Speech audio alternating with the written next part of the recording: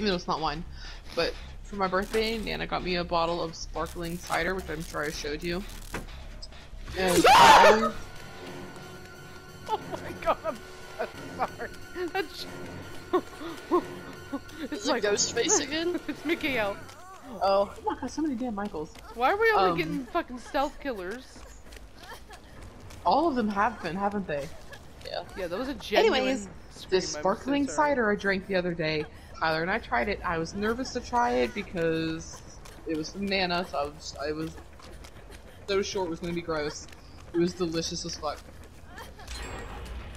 Are we having mojitos tomorrow? I want to, but I don't have alcohol. Ah! Fucking Lacy. You can stop and get some on the way. I have, I have everything except for the alcohol and then like the fresh ingredients, i.e., strawberries. Oh, got a blast.